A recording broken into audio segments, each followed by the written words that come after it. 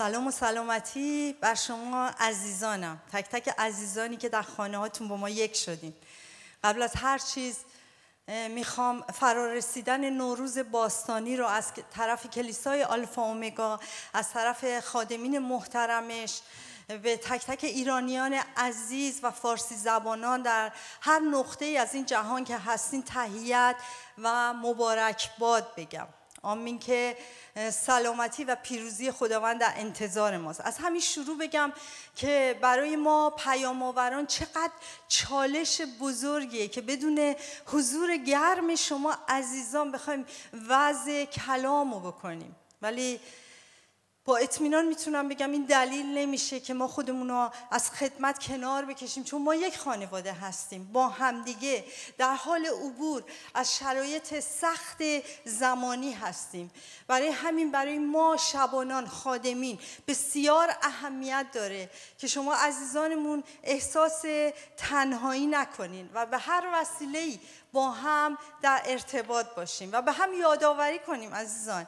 این اعلان ایمانمون رو در این روزها که خیلی کلام مهمیه که به هم اعلام کنیم که خداوند حاکمه. خداوند در حاکمیت مطلق خودش از تمام اوضاع و شرایط ناگوار با خبره و حاکمه. و همینطور بسیار اهمیت داره عزیزان که آگاه باشیم که داریم از یه فصل سختی با همدیگه عبور می‌کنیم و همینطور نگاه کنیم با ایمان نگاه کنیم که به سلامتی به یاری خدا وقتی از این فصل سخت عبور می‌کنیم قدر قامت روحانیمون بیشتر رشد می‌کنه بیشتر قدر همدیگر رو می‌دونیم بیشتر اتحادمون عمیقتر میشه و همینطور از همه اینا بهتر. ما اندکی بیشتر به شناخت خداوندمون عیسی مسیح می‌رسیم. باشه که خداوند روح حکمتش رو و خادمینش عطا کنه که کلیسای خداوند رو در این شرایطی که داریم میریم به بهترین شکل عزیزان هدایت و رهبری کنیم. در این خصوص می‌تونم بگم سخت به دعای شما عزیزان نیازمندیم تا بهترین ها در این زمانهای خاص از کلیسای خداوند نمایان بشه. تا ماهیت راستین بدن مسیح کلیسا در دنیا بیشتر بدرخشه بیشتر کلیسای خداوند تاثیرگذار باشه. آمین که همینطور ایران عزیز ما ملت عزیز ما در این فصل طولانی و ظلمانی زمستانی با سلامتی عبور کنه و تک تک مایی که مدت هاست داریم دعا می‌کنیم برای مصیبت ها برای این بحران جهانی که بیشتر فراگیر ایران شده. تک تک ما شاهد باشیم عزیزان روزی که چطور به جای این همه غم و اندوه مرگ و نیستی ناله و فقان روزی شاهد باشیم که شادمانی امید و ایمان ملت ایران ما رو در بر می‌گیره. و ایران عزیز ما ملبس میشه به سوسن وادی ها عیسی مسیح خداوند. آمین که اینطور باشه. بیایم تا اون روز عزیزان به عنوان فراخواندگان بدن مسیح تقلا کنیم عزیزان. جد و جهد کنیم. تمامی تمرکز خودمونو تمامی وجود خودمونو. یادتونه اون دستبند کشی ها مثل اون دستبند کشی کش بدیم تمرکز خودمونو خودمونو کش بدیم. به سمت اون شادی هایی که در انتظار ماست. در این زمان هایی که مصادف شده با این همه فاجعه و درد همینطور برای ما. به عنوان بدن مقدس مسیح شادی های خیلی زیادی در راهه. همینطور که دنیا در یک بحرانی گیر کرده. ما به عنوان کلیسا و این ایام مصادف شده با هفته مقدس که شروع میشه با ورود مزفرانه عیسی مسیح خداوند ما به اورشلیم و در نهایت به مرگ و قیام او منتهی میشه. و در این ایام خدا می‌تونه چقدر پیام های دلگرم کننده به گوش ما برسونه. راستش این چند روز خیلی برام سخت بود. به عنوان هفته اول بهار با این طوفان های ذهنی که من از شما مستثنا نیستم توی ذهنم هجوم می آورد و خیلی سخت بود که اراده خدا رو بفهمم طریق های خدا رو بفهم که خدا چه سخنی می‌خواد و با بدن مقدس خودش داشته باشه. همینطور می‌تونم بگم حقیقتا مثل همیشه فقط فیض خدا شامل حالم شد. یک حس درونی یک خوشی که از روح القدس بود منو در بر گرفت و حس کردم که خداوند در این زمانها می‌خواد اسم مقدس و ممتاز و عزیز عیسی مسیح رو مثل یه علم پیروزی پرچم پیروزی توی کلیسای محلیمون توی کلیساها توی ملت ایران شهرمون هامبورگ خانواده هامون بلند کنیم عزیز عزیزان شناخت خدا از طریق اسم عجیب خداوند چقدر می‌تونه؟ دلهای ما رو در این زمستان سخت که بهار رو هنوز تجربه نکردیم پر از خوشی بهاران بکنه. باور می‌کنید؟ مطمئنم که تو خونه هاتون داریم میگین آمین. باشه که امروز خاص در نام مقدس عیسی مسیح خداوند در نام مقتدر او قلمرو خدا نظام خدا عزیزان حاکمیت مطلق خدا آزادانه در خانه های ما در قلب های ما فعال و مشهود باشه.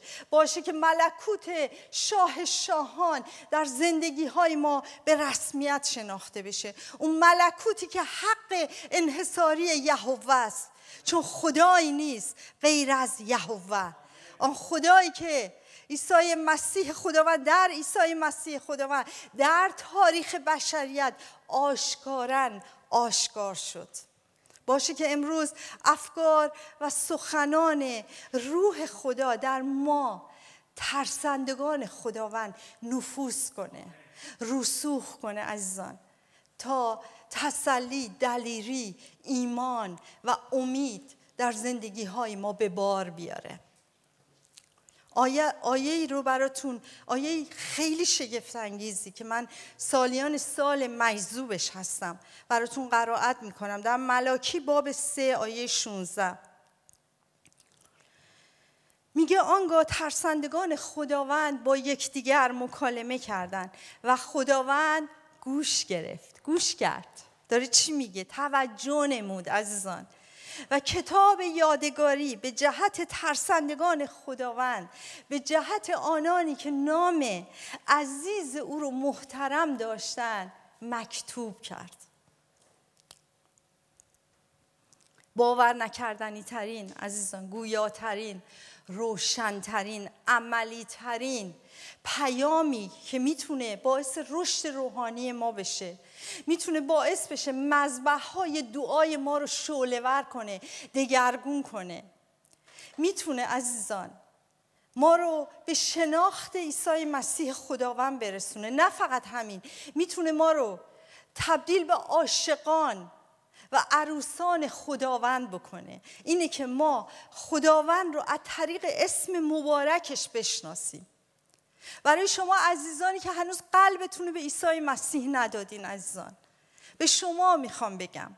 به شمایی که دارین گوش می‌کنین. ولی عیسی مسیح خداوند هنوز خداوند زندگیتون نشده. او رو به عنوان خدا نمی‌شناسین. در اعمال باب چهار آیه دوازده میگه در هیچ کس غیر از او نجات نیست.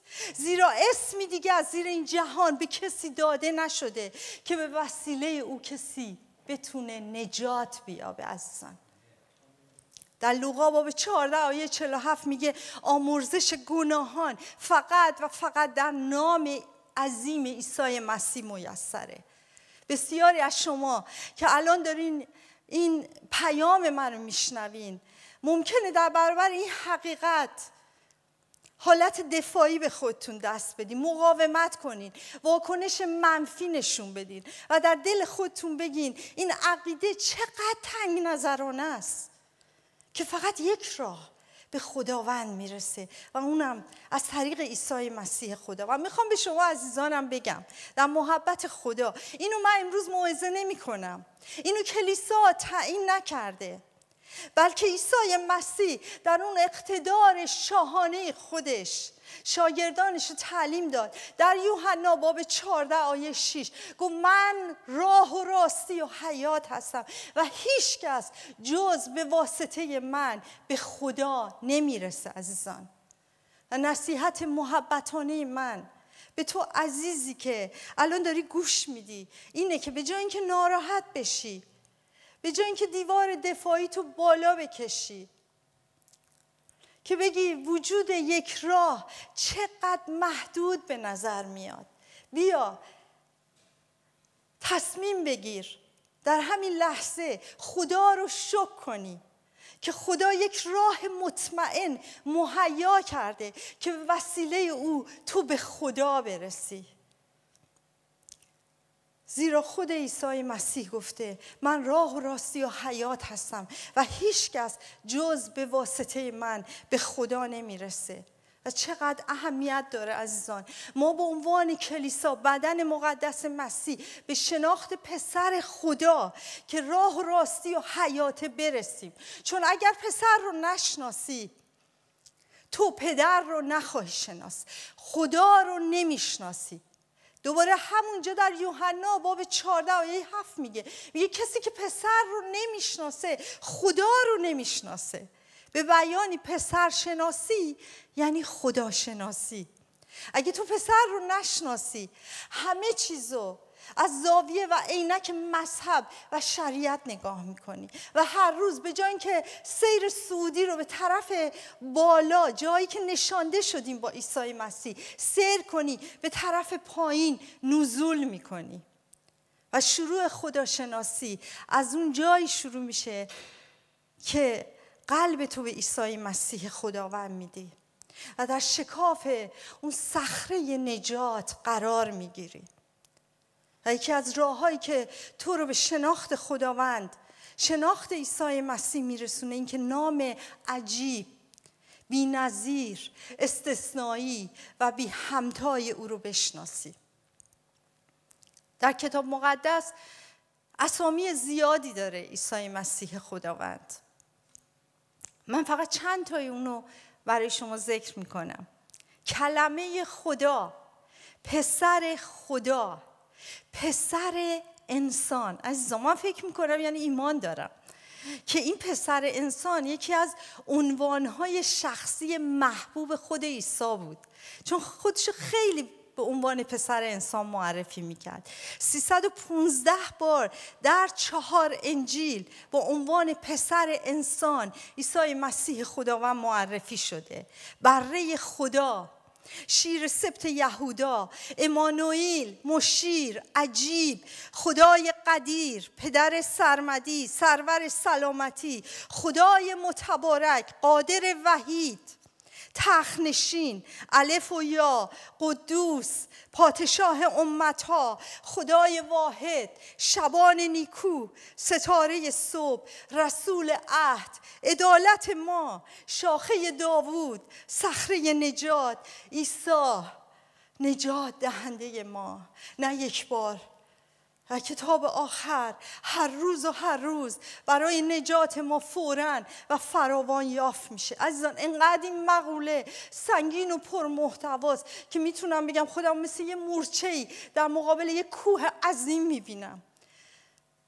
فقط مداخله الهیه مداخله روح خداست که می‌تونه اندکی از عظمت نام عظیم عیسی رو برای ما مکاشفه کنه. در این مسیر ما نیاز داریم که خدا به سراغ ما بیاد و روشنگری کنه. ما نیاز داریم که خداوند روح حکمت و کشف در شناخت خودشو از طریق اسامی مبارکش به ما اهدا کنه. آمین. عزیزان فیلسوف معروف یهودی هست به نام مارتین بوبر که اواخر قرن 19 هم زندگی می‌کرده و بهترین و مهمترین علائق او در مورد انسانشناسی و هستی شناسی بوده. کتاب فلسفی خیلی مهمی به رشته تحریر در آورده به نام من و تو.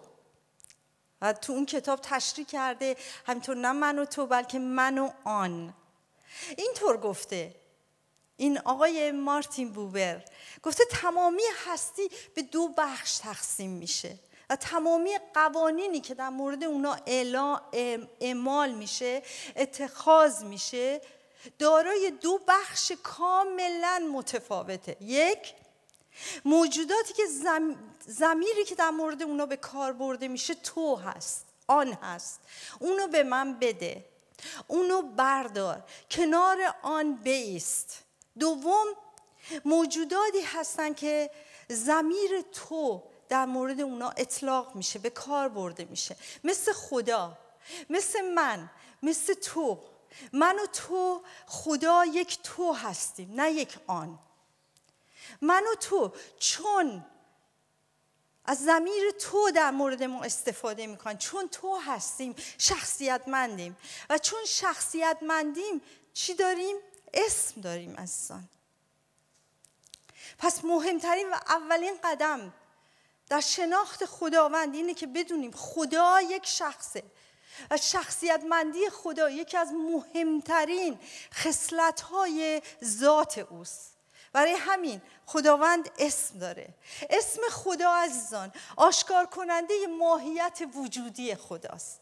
اسم خدا آشکار کننده هویت خداست. آشکار کننده پادشاهی خداست. اسم خدا آشکار کننده تمامی اون اشتیاقیه که او داره. برای اینکه ما او رو در کمال آگاهی و فهم بشناسیم و بپرستیم. و با او وارد یک رابطه من و تویی بشیم. خدای کتاب مقدس عزیزان خدایی هست که خودش مشتاقه که خودش رو به مخلوق خودش آشکار کنه. البته نه اونطور که در مشت من و تو جا بگیره. نه اونطور آشکار کنه که مفعول دست من و تو باشه. او در اینی که خودش آشکار می‌کنه همچنان پر رمز و راز باقی میمونه چون خداست. ولی در نهایت خدایی نیست که مطلق باقی بمونه مبرا و منظم باشه و دور از عالم ماده خودش باشه. خدای کتاب مقدس با اینکه خصوصیتی خیلی فراتر و برتر از خلقت خودش داره ولی اشتیاق داره عزیزان. اشتیاق داره با عالم خلقت خودش وارد یک رابطه من بشه. در اشعیا باب 57 آیه 15 چقدر زیبا به این اشاره کرده. زیرا او که عالی و مقدس است. زیرا او که عالی و بلند است و ساکن در ابدیت و اسم او قدوس است. میگه من در مکان عالی و مقدس ساکنم و نیز با کسی که روحی فروتن و افتاده داره. به بیانی از آن او در بالاترین بالاها و در پایینترین پایینها ساکنه. خدای کتاب مقدس روی دو تا بودش متمرکزه. بود تعالی و بود حلولی آشکارسازی اون. و این چقدر عزیزان قلب ما رو پر از شادی می‌کنه که او با خدایان غیر متفاوته. خدایانی که عیسی هستن خدایانی که همه چی دور او میچرخه و درد انسان بیخبره. عزیزان چرا دارم این مقدمه رو اینقدر بستش میدم؟ به خاطر اینکه کمی اقلا اشتیاق پیدا کنیم که به شناخت نام خداوند عیسی مسیح برسیم. چون هیچ چیزی نیست که تو امروز هیچ مشکل نیست که با اون روبرو شده باشی. یا وقایعی که خیلی شاید بدتر با اون روبرو بشی. خدایی نکرده که خدا قبلا از طریق اسم مبارکش پیش بینی نکرده باشه. از طریق اسمش نخواد تو رو تسلی بده نخواد تو رو حمایت و حفاظت کنه. چقدر زیباست. امثال باب 18 آیه 10 میگه اسم خداوند مثل برج حسینه مثل برج مستحکمه و مرد و زن عادل در اون میدوه و ایمن میمونه. نمی‌دونم تجربه کردین یا نه. تو غزل غزل ها یک سه میگه اسم خداوند مثل عطر ریخته شده است. یعنی وقتی ندا می‌کنی به زبان میاری به اون ایمان قلبی می‌تونه تمامی اون بوی نکبت نفاق دشمنی بوی مرگ ناامیدی غم و غصه بیماری این همه بوهای نامطبوع و آزاردهنده که در این روزها بیشتر در فضاهای زندگی ماست می‌تونه به رایحه دلانگیز امید و شادی تبدیل کنه. باور کنید اینو با تمام وجودم میگم چون خودم اولین تجربه ای که داشتم این بود.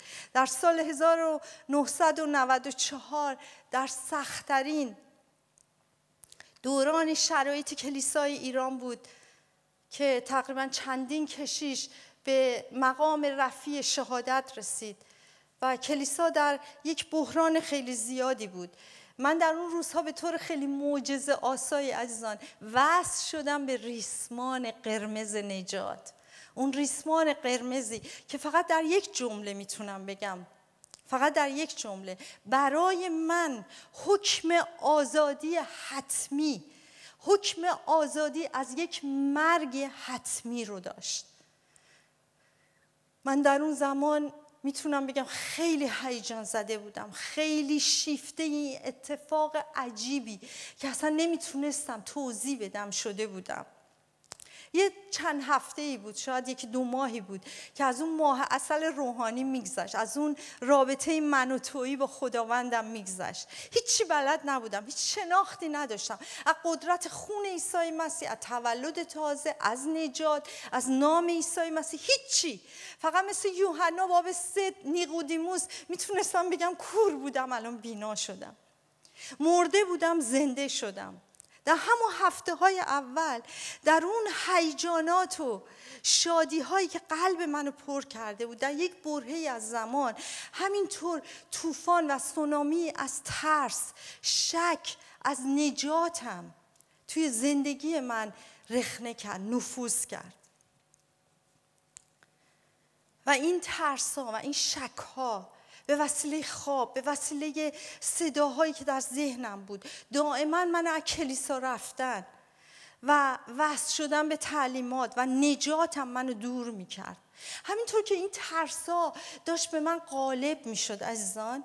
یه شب یه شب فراموش نشدنی به وضوح یک رویایی رو دیدم.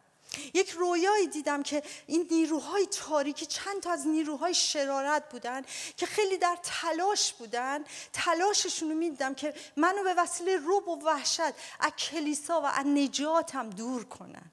همطور که داشتم مرعوب این نیروهای تاریکی می شدم در همون لحظه یک امداد الهی که نمی‌دونم از کجا بود توی قلب و وجود من نفوذ کرد. این امداد الهی چشمای منو یه جوری روشن کرد که احساس کردم در اون لحظه من دارای اراده آزاد هستم و دو تا انتخاب جلوی روی منه. یکی اینکه مرعوب این نیروهای تاریکی بشم یکی اینکه نام عیسی مسیح رو بلند کنم.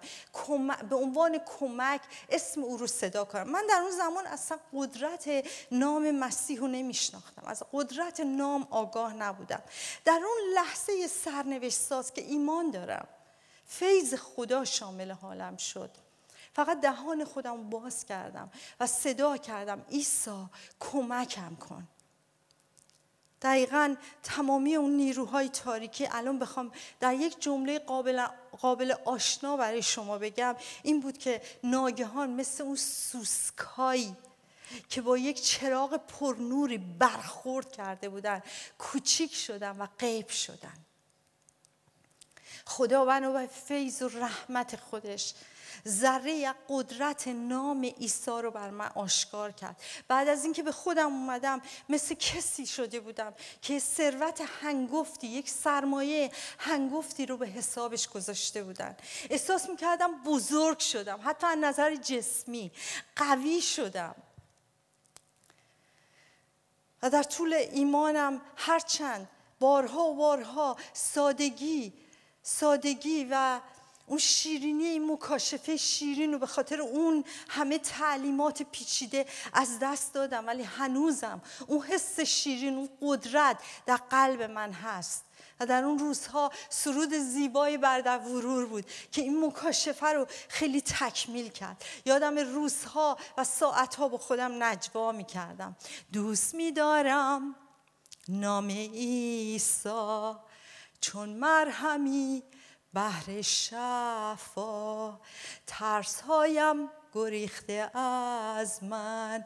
با قدرت نام ایسا ایسا نام پرجلال ایسا شاه بی زوال ایسا مؤمنین خوانند. شکوهت را سرایند و این سرود زیبا همینجور ادامه داره. عزیزان. می‌خوام تشویقتون کنم. حتی اگه یک شناخت اندک از قدرت این نام عجیب رو بشناسی میشه اسای اقتدار تو که وقتی بلندش می‌کنی تمام اون نیروهای تاریکی حکومت ترس و استراب و ناامیدی کاری نداره به جز اینکه فرو بریزه و زانوهاش خمشه عزیزان. در ملاکی باب چهار آیه دو دوباره آیه حیرت انگیزیه میگه برای کسی که اسم خداوند رو می‌شناسه. آفتاب عدالت طلوع می‌کنه که بر بالهای او شفاست عزیزان می‌خوام تشویقتون کنم. در این روزهایی که تاریکی داره جهان رو فرو می‌گیره و ظلمت قلیز داره توایف رو دربر می‌گیره. بخوایم از خدا و روح قدوس خدا که به وسیله شناخت عیسی مسیح طریق نامهای مقدس او عزیزان نور خداوند قوت خداوند ایمان خداوند در من و تو متجلی بشه. آمین. و ملاکی باز هم میگم همون آیه که اول خوندم چرا تصویر زیبایی به ما میده؟ از یک حقیقت عالی پرده برداری می‌کنه. میگه آنگاه ترسندگان خداوند با هم مکالمه کردن حرف زدن. و خداوند چیکار کرد؟ گوش کرد. گوش کرد توجه کرد. چی دارن میگن؟ در مورد چی با هم صحبت می‌کنن؟ دید که با هم دیگه صحبت می‌کنن. و کتاب یادگاری برای اونو گوشود مکتوب کرد. به جهت آنانی که اسم خداوند رو محترم میشمردن و راجع به اسم عجیب او با هم صحبت می‌کردن عزیزان. کتاب یادگاری گوشوده شد. کتاب یادگاری در دوران شکوفایی و اقتدار یوشیا گشوده نشد. این کتاب یادگاری در دوران شکوهمند وقتی که ساختن هیکل داشت انجام می‌شد. دوران خیلی پرجلالی بود. این کتاب باز نشد. کتاب یادگاری در دوران پرجلال دانیال و مهد و شکوه دوران پادشاهی سلیمان گشوده نشد عزیزان. اما در میان قوم کوچکی که در میان خرابه های عظیم اورشلیم ساکن بودند به وسیله اعمال اونا گفتار اونا رفتار اونا کتاب یادگاری مکتوب شد. چرا؟ تا همواره خداوند. این عزیزانش رو پیش چشمای خودش داشته باشه. اونا بیشتر از نوازندگان و سرایندگان معبد در دل خداوند جا داشتن. به خاطر همین بود که سزاوار چنین حرمتی بودن. به خاطر اینکه اونا برای پادشاهی خدا در اون زمانهای سختی ایستاده بودن. به وفاداری امانت و وعده های خدا اعتماد داشتن و با یکدیگر حرف می زدن مکالمه می کردن اصلا در مورد چی حرف می زدن؟ در مورد امور سیاسی در مورد تلفات روزافزون کرونا ویروس در مورد جهانی که در حال متلاشی شدن بود در مورد خرابه هایی که توش زندگی می‌کردن و هیچ امیدی شاید اون لحظه نبود نه عزیزان در مورد اسم عجیب و پرقدرت خدا و القاب نام خدا در مورد عجیب بودن این نام که ذات او رو برملا می کرد اهداف او رو نشون می‌داد با هم صحبت می‌کردن. برای همین بود که پیش خداوند خیلی محترم و عزیز بودن. چون اسم خداوند برای این قوم کوچک با ارزش و محترم بود. باشه عزیزان که فقط اکتفا نکنیم. اسم ما در دفتر حیات نوشته شده. کیفم بکنیم. نه. بلکه باشه که اسم ما در کتاب یادگاری خاطرات خدا مکتوب بشه. با گفتار ما با عمل کرد ما با حرفایی که با هم در اون خلوت می‌زنیم. موسا رو می‌بینیم وقتی در خروج باب سی و سه آیه 18 چه دعای زیبایی کرد. البته اولش یکم باعث تعجبه. میگم الان چرا آدم تعجب می‌کنه. موسی اینطور دعا کرد. ای خدا و الان اگه منظور نظر تو هستم تمنا این که جلال خود تو به من نشون بدی. جلال خود تو به من بنمایی. اصلا چه سوال عجیبی چه سوال غیر عادی. موسی جان آخه قربونه ده تا بلای مصریان رو تو تنها کسی بودی که با چشمات دیدی. دیدی چطور دریای سرخ باز شد. دیدی چطور لشکریان مصر قل و قم شدن. تو خودت سرود خوندی در خروج باب 15 که خداوند مرد جنگیه. دست او بازوی قوت او جلیل شده. دشمن رو خورد کرده شکسته. آخه اینا جلال خدا نبود؟ آیات و معجزاتی که تو فقط افتخار داشتی که با چشمای خودت ببینی. اینا جلال خدا نبود. چقدر ممکنه تو طمع روحانی داشته باشی؟ موسا جان. عزیزان اگه این چیزا اگه این معجزات اگه این عمل کردای دستای خدا و بازو اجرایی او جلال خدا بود موسی اینطور التماس نمی کرد نمی گفت من می‌خوام تو رو بشناسم. چون عزیزان قدرت خدا معجزات خدا که هر دفعه شاید خدای نکرده خیلی بیشتر از چیزای دیگه ما راجبش دعا می‌کنیم و خیلی هم ذوق می‌کنیم. خدا اینو به من داد اونو به من داد چه معجزاتی در زندگی من انجام داد. اصلا قوت و آیات و معجزات و شفا عالیه. ولی تو رو به شناخت خدا نمیرسونه. معجزات خدا خود خدا نیست. برای همین موسا اینطور در التماس و ناله بود. و خدا چقدر لذت می‌بره از دعای این چنینی. در آیه 19 گفت اوکی پس تمامی احسان خود رو پیش روی تو می‌ذارم و نام یهوه رو پیش روی تو ندا می‌کنم. یهوه خدای عظیم و رای و عجیب الحکمت. یهوه یهوه خدای کثیر الاحسان خدای عظیم و رای خدای عجیب الحکمت. اگه می‌خوای منو بشناسی باید اسم منو بشناسی با نام من آشنا بشی. تمامی احسان خود رو پیش روی تو می‌ذارم عزیزان. در عبری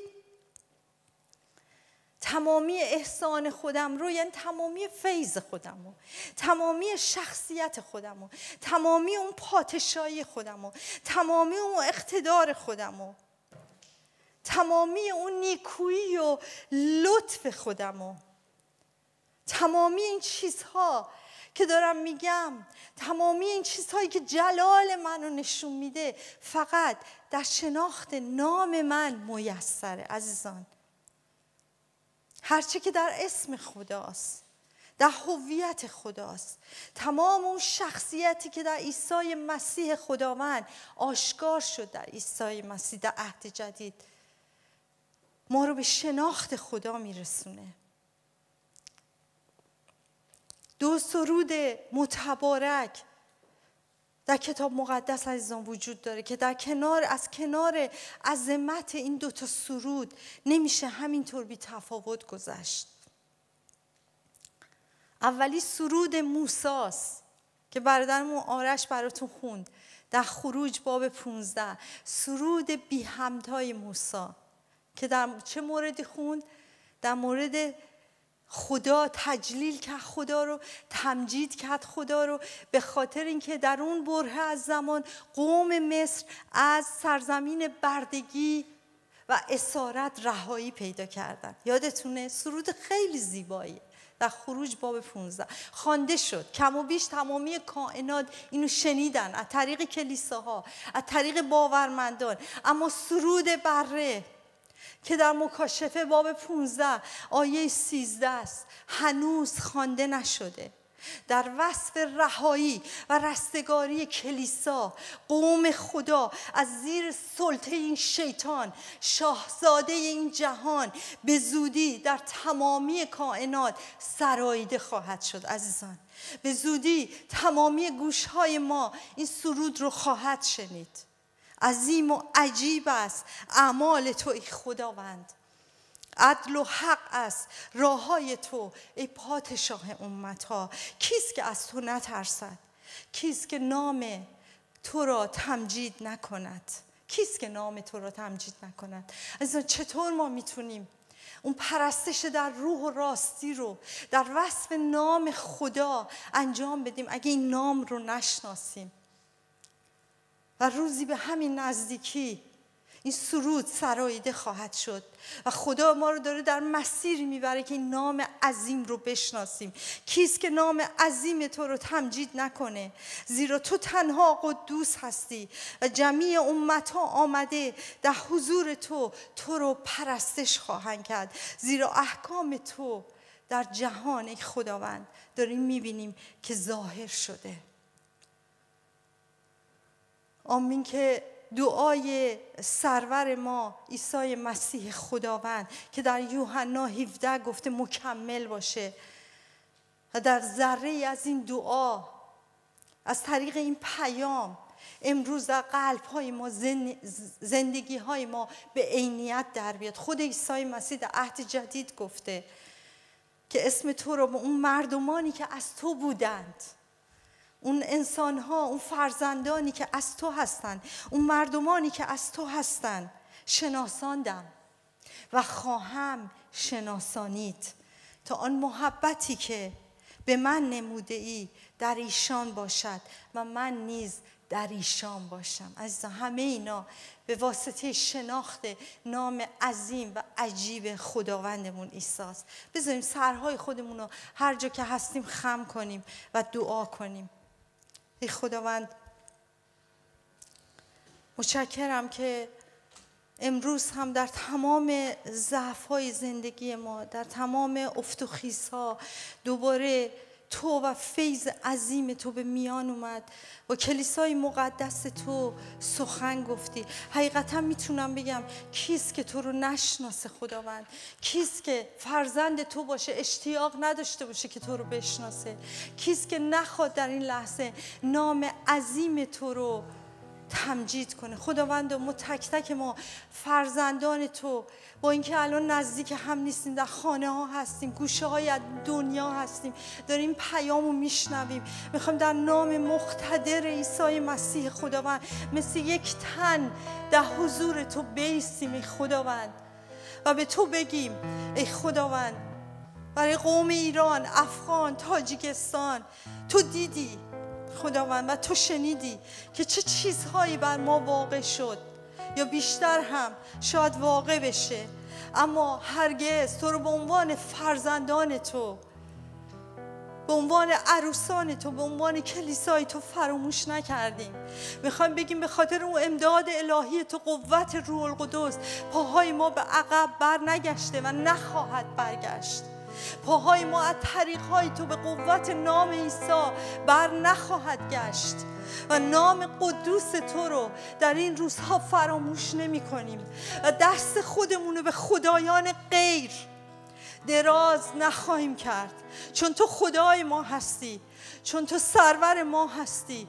دستامونو به نام خداوندمون بلند می‌کنیم. مثل یک علم, علم پیروزی مثل یک پرچم پیروزی. این نام عجیب ممتاز نظیر و عظیم عیسی مسیح رو بلند می‌کنیم. این نامی که مادر فرزانگیه این نامی که مادر کائناته این مادر نامی که قدرت داره. تمامی شک ترس بی ایمانی ناامیدی حجوم خبرهای منفی رو از زندگی ما دور کنه. می‌خوام اعلام کنیم که نام تو بالاتر از هر نامی در این کائناته. بالاتر از هر قدرت تاریکی. بالاتر از هر ریاست و حکومتی که در این دنیاست. بالاتر از هر نیروها و فرمانده هایی که دارن در این روزها رژه میرن و می‌خوان خود نمایی کنن. فقط اعلام می‌خوایم بکنیم که نام عظیم توست که بالاتر از هر قدرتیه و تمام این نیروها جلوی نام باید زانو بزنن و اعلام کنن که تنها عیسی خداونده.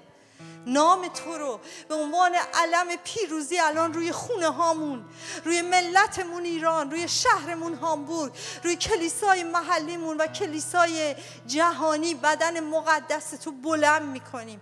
نامی که در این لحظه هر زانویی باید خمشه و هر زبانی اعلام کنه که تو خداوندی. پس اعلام می‌کنیم ای پدر ما که در آسمانی نام تو مقدس باد. نام تو در عمل کردای ما گفتار ما هم نشینی های ما. در این روزهایی که جانامون ضعف می‌کنه زانوهامون قوت شاید دست میده دستامون گاهن میفته دعا می‌کنم ای پدر ما که نام تو در زندگی های ما در خانواده های ما مقدس باد. در کلیسای مجید تو نام تو مقدس باد. ملکوت تو بیاید و اراده تو چنان که همین لحظه در و افکار ما و اصحان ما ذهنای ما قلب ما احساس ما. ای خداوند کرده بشود. چون در نام مقتدر عیسی مسیح خداوند دعا کردیم. با هم دیگه دوباره می‌خوایم. سرود موسا و سرود بره که هر دو مطمئنم یادتون نمیره. در باب 15 خروج در باب مکاشفه باب 15 این دوتا سرود حیرت انگیز و شگفت انگیز رو با هم می‌خونیم.